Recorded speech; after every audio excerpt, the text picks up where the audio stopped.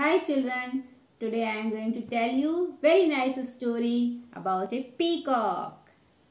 Peacock was having very colorful and shiny feathers and you know one day what happened? A crow was flying and he saw peacock's feathers. Oh, you are so beautiful.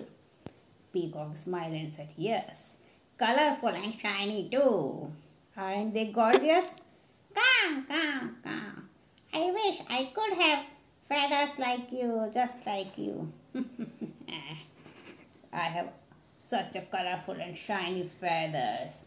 Very gorgeous. Crow said, caw, caw. Hmm, such a show off. And he flew away. The peacock used to show off of his beauty.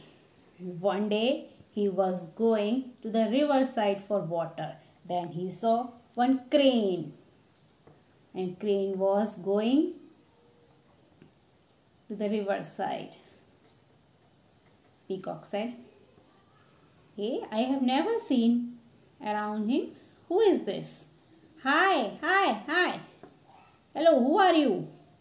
Crane said, I am Crane. I am Peacock that have colorful and shiny feathers. Who are you? What happened to your feathers? Peacock said. What happened to your feathers? No colors. Very dusty. Looking very dusty.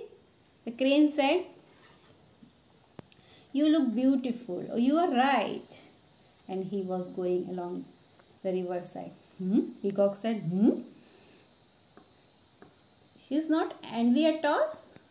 Crane said, No, I don't envy you at all because I can travel and I can fly up in the sky and wherever I want to go, I can go.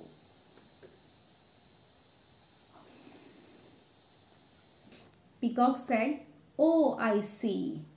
Crane said, What else can you do with those feathers? Grooming and showing off. You look beautiful from outside but not from inside. Realize his mistake that there are more to do in life than just looking beautiful. Children, we all are different. Yes, children, we all have different qualities.